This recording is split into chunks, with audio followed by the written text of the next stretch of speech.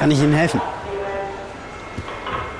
Sagen Sie mal, junger Mann, das Waschmaschinchen da, die können Sie auch nach Haus?